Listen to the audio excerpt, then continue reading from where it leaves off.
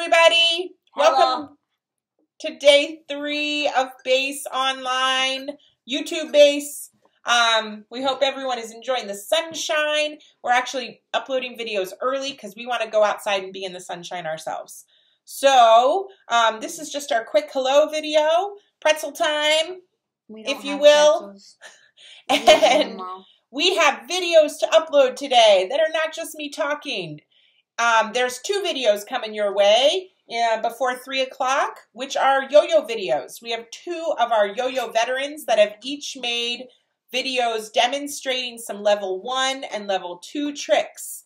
So whether you've been part of yo-yo class in the past and want to continue learning with the demonstrations provided in these videos, or if you're brand new to yo-yo and want to start from scratch. Any yo-yo will do, especially for level one tricks. Even sticks with strings.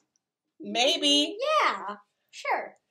Okay. Bottle caps, actually. I've made a yo-yo out of bottle caps. That we could think about a yo-yo creation tutorial possibly.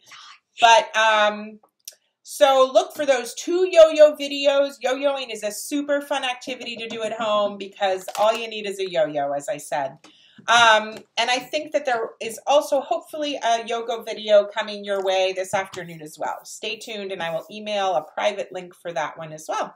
I think that's it.